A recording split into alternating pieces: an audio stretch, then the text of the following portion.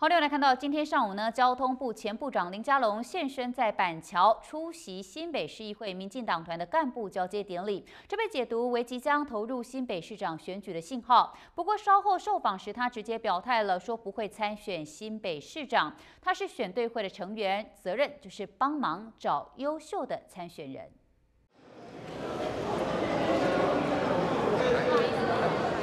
林佳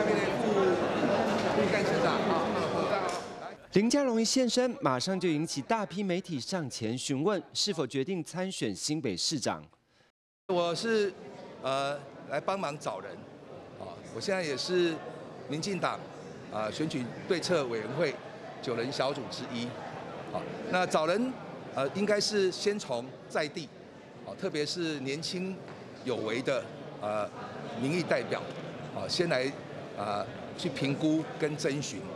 否认参选新北市长，那对于参选台北市长呢？林佳龙则是强调自己是选对会的委员，希望优先推出城市发展需要的人选。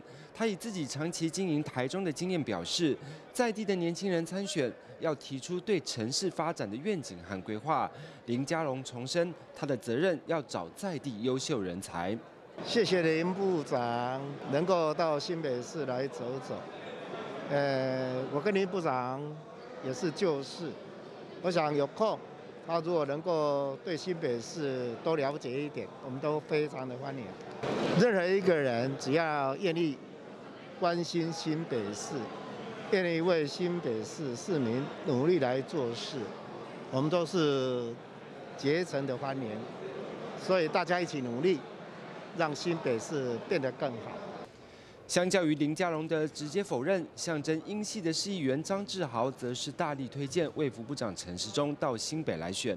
年底选战开打前的一举一动，都影响着二零二四后续，值得观察。